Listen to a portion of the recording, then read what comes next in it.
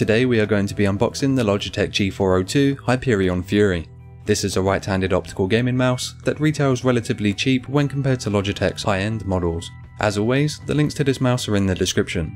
I'll be releasing the full review of this mouse shortly, but for now, let's take a look at what's inside.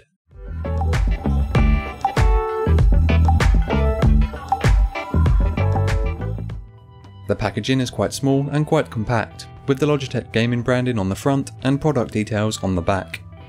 Using a knife to break the seals on either side of the packaging, we can then begin to open the box.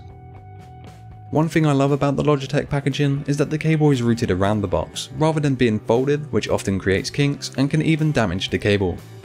The mouse is held in place by some plastic and comes packaged with some information slips. First we have the G402 support leaflet, which is fairly basic, directing you to Logitech's official website.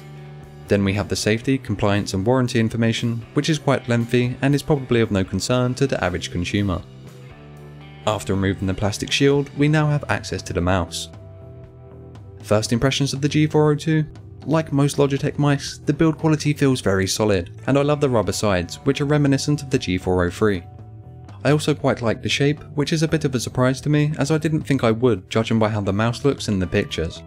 Nevertheless, I still need to actually test this mouse and then I will know how I really feel about it. I'll be doing some extensive testing in CSGO and documenting my thoughts compared to other mice such as the G403. Be sure to subscribe if you want to see the full review as well as my other videos coming in the future.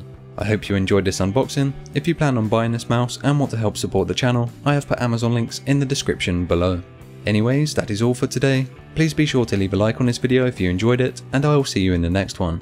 This has been Josh TechBytes, thank you for watching.